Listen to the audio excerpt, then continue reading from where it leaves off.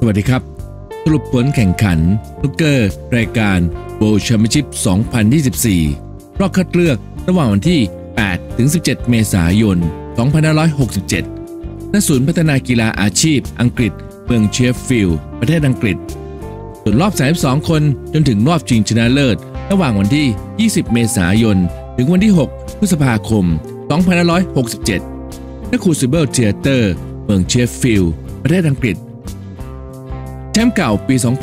2023 ลูกาเบรเซล เอาชนะมาร์คเซลบี้เป็น 8 ต่อ 15 เฟรม ผู้แทงเบรกสูงสุด 147 แต้ม มาร์คเซลบี้ไคเรนวิลสันเงินรางวัลแชมป์500,000 ปอนด์ รองแชมป์200,000 ปอนด์ รางวัลเบรกสูงสุด 15,000 ปอนด์หากแทง maximum break รอบคัดเลือก รับโบนัสพิเศษ 10,000 ปอนด์ รอบ main draw ในครูซิเบิลเธียเตอร์รับ40,000ปอนด์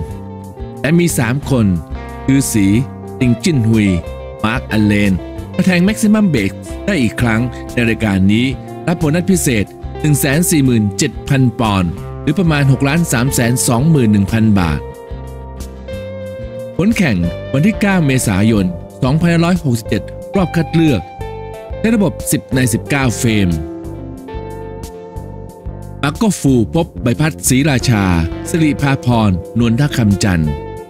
เซสชั่นหนึ่งมาร์โกฟูขึ้นนำใบพัดศรีราชา สิริภาพรนวลท่าคำจันทร์9ต่อ0เฟรมเซสชั่น2มาร์โกฟูเอาชนะใบพัดศรีราชา สิริภาพรนวลท่าคำจันทร์10ต่อ1เฟรมมาร์โกฟูผ่านเข้ารอบคัดเลือก2ไปพบกับเคนโดเฮอร์ตี้เกียงจุน พบอาเมียซาโคชเซสชั่นหนึ่งเกียงจุนขึ้นนำอาเมียซาโคช5ต่อ4เฟรมเซสชั่น2เกียงจุนเอาชนะอาเมียซาโคช10ต่อ6เฟรมเกียงจุนผ่านเข้ารอบคัดเลือก 2 ไปพบกับฟานเซงงีฮัมมัดมีอาพบเฮดอนปินเฮเซสชั่นหนึ่งเฮดอนปินเฮขึ้นนำฮัมมัดมีอา7ต่อ2เฟรม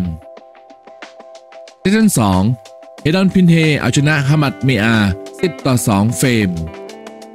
เฮดอนพินเฮผ่านเข้ารอบคัดเลือก 2 ไปพบกับจูเลียนเลอเคิร์ก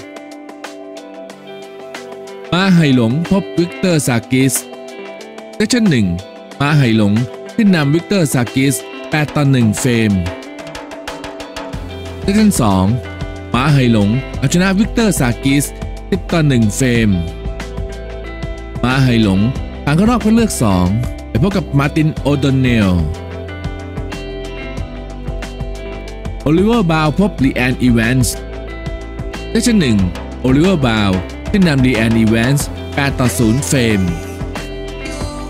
เซสชั่น2โอลิเวอร์บาวเอาชนะลีแอนอีแวนส์10ต่อ0เฟรมโอลิเวอร์บาวผ่านเข้ารอบคัดเลือก 2 ไปพบกับดิแลนเอมเมอรี่ เฟอร์กัลโอไบรอันพบมอสตาฟาด็อกแฮมเซสชั่นหนึ่งเฟอร์กัลโอไบรอันขึ้นนำมอสตาฟาด็อกแฮม5ต่อ4เฟรมเซสชั่น2มอสตาฟาด็อกแฮมพลิกเกม เอาชนะเฟอร์กัลโอไบรอัน10ต่อ8เฟรมมอสตาฟาด็อกแฮมผ่านเข้ารอบคัดเลือก 2 พบกับแกรนดอตหลงเจอห่วงพบซิดนีย์วินสันเซสชั่น1หลงเจอห่วง ขึ้นนำซิดนีย์วินสัน 8 ต่อ 1 เฟรมเซสชั่น 2 หลงเจอห่วง เอาชนะซิดนีย์วินสัน 10 ต่อ 1 เฟรม หลงเจอห่วงผ่านรอบคัดเลือก 2 ไปพบกับแอนดี้ฮิกส์ฌอนโอซูลิแวนพบบักซูลิเวสเซสชั่น1ฌอนโอซูลิแวนขึ้นนำบักซูลิเวส 6 ต่อ 3 เฟรม ส่วนเซสชั่น2บักซูลิเวสพลิกเกมเอาชนะจอห์นโอซูลิแวน10ต่อ8เฟรมบักซูลิเวสผ่านเข้ารอบคัดเลือก2ไปพบกับเจมส์ เคฮิลอันเดสเปตอฟพบอาเมดอาลี เอลซาเยตเซสชั่น1อันเดสเปตอฟขึ้นนำอาเมดอาลี เอลซาเยต8ต่อ1เฟรมเซสชั่น2อันเดสเปตอฟ เอาชนะอาเมดอาลีเอลซาเยตสิบต่อหนึ่งเฟรมอันเดสเปตอฟผ่านเข้ารอบคัดเลือก 2 ไปพบกับเจมี่คลาร์กอดัมดัฟฟี่พบมิ้งค์สระบุรีนัชรัตน์วงหฤทัยเซสชั่นหนึ่งอดัมดัฟฟี่เสมอมิ้งค์สระบุรีสี่ต่อ 4 เฟรมเซสชั่นสองอดัมดัฟฟี่เอาชนะมิ้งค์สระบุรี10 ต่อ 5 เฟรม อดัมดัฟฟี่ผ่านเข้ารอบคัดเลือก2ไปพบกับแอชลีย์ฮูกิลแอนดี้ฮิกกินสันพบดวนโจนส์เซสชั่นหนึ่งดวนโจนส์ขึ้นนำแอนดี้ฮิกกินสัน6ต่อ 3 เฟรมเซสชั่นสองแอนดี้ฮิกกินสันพลิกกลับมาชนะดวนโจนส์10ต่อ 7 เฟรมแอนดี้ฮิกกินสันผ่านเข้ารอบคัดเลือก 2 ไปพบกับไมเคิลไวท์ลุยส์ฮีทโคตพบโอลิเวอร์ไซเกรสเซสชั่นหนึ่งลุยส์ฮีทโคตขึ้นนำโอลิเวอร์ไซเกรส6ต่อ 3 เฟรม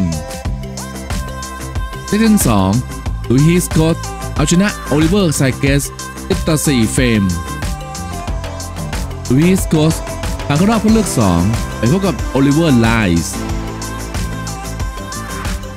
จวดคาริงตันพบฮิมันชูจันเซสชั่นหนึ่งจวดคาริงตันขึ้นนำฮิมันชูจัน6ต่อ 2 เฟรมเซสชั่น2จวดคาริงตันเอาชนะฮิมันชูจัน10ต่อ 5 เฟรมจวดคาริงตันผ่านรอบคัดเลือก2ไปพบกับเลียมไฮฟิลด์อเล็กซานเดอร์ อูเซนเบเชอร์ พบอิอูเลียน บอยโก เซสชั่นหนึ่งอเล็กซานเดอร์อูเซนเบเชอร์ขึ้นนำอิวเลียนบอยโก้9ต่อ0เฟรมเซสชั่น2อเล็กซานเดอร์อูเซนเบเชอร์เอาชนะอิวเลียนบอยโก้10ต่อ0เฟรมอเล็กซานเดอร์อูเซนเบเชอร์ผ่านรอบคัดเลือก 2 ไปพบกับแอนโทนีแฮมิลตันอลันเทเลอร์พบวลาดิสลาฟแกดินาลีเซสชั่นหนึ่งอารันเทเลอร์ขึ้นนำ วลาดิสลาฟแกดินาลี7ต่อ 2 เฟรมเซสชั่น2อารันเทเลอร์ เอาชนะวลาดิสลาฟแกดินาลี10ต่อ 6 เฟรมอารันเทเลอร์ผ่านรอบคัดเลือก 2 ไปพบกับลูคัสเกเกอร์สผู้ที่ผ่านเข้ารอบคัดเลือก 2 รับเงินรางวัล 5,000 ปอนด์หรือประมาณ 215,000 บาท ส่วนผู้ที่ตกรอบแรกไม่มีเงินรางวัล และปัจจุบันผู้แทงเบรกสูงสุด 129 แต้มลุยฮิสโคดในนัดที่เอาชนะโอลิเวอร์ไซเกส 10 ต่อ 4 เฟรม รอบคัดเลือกหนึ่งไฮไลท์โปรแกรมถัดไป วันที่ 10 เมษายน 2567 เกิดรายการ World Championship 2024 รอบคัดเลือกหนึ่งและศูนย์กีฬาพัฒนากีฬาอาชีพปิดเมืองเชฟฟิลด์ประเทศอังกฤษ เอิงอี้สงพบควิดคิวเฮาส์นัสวิน เพชรมาลายกุล ผู้ชนะคู่นี้ผ่านเข้ารอบคัดเลือก 2 จะไปพบกับเดวิดเดเล่